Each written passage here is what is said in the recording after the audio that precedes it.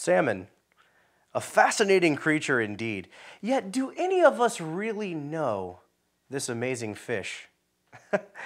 well, I've been asking myself that same question a lot lately, and I've come to discover a lot of amazing facts about this fish that I'd love to share with you today. Are you ready? Let's do this together. Well, one interesting thing about salmon that I've recently discovered is, is that they, they're born in fresh water, but they swim out to salt water later on to grow and mature for about one to three years approximately, depending on your salmon, of course. Then, after that period of time, 10%, mind you, surviving this rigorous process. Now, that's not very much, just one point above 9%, in fact. then they swim back up the stream into the fresh water again, going back and forth. And once they get all the way back to almost the location where they were born, they then fertilize the eggs.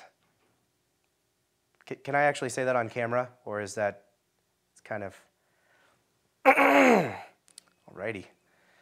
They, well, they fertilize the eggs. And, and then they, they die, actually. Um,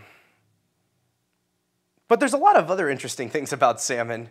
For instance, uh, they have a diet much different than other animals such as badgers. They, they eat things like bugs, little tiny fish, plankton, yes, even steak. well, probably not steak. no, actually, actually, it is steak. It says right here steak. And, and some types of chicken dishes. That sounds delicious. Well, that's all the time we have for here for today for our salmon facts. But uh, Join us next time and feel free to grab a volume of your own at your nearest library and do some research of your, of your very own. It's fascinating stuff, folks. All right, then. Bye bye.